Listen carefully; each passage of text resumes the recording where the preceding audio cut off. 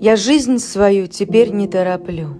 Проходит лето, так необходимо, но все же осень я тебя люблю, какую бы ты ни скрывала зиму.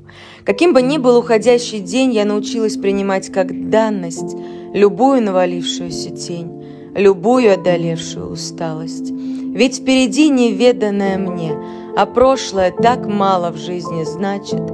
Я научилась дорожить вдвойне всем тем, что называют настоящим.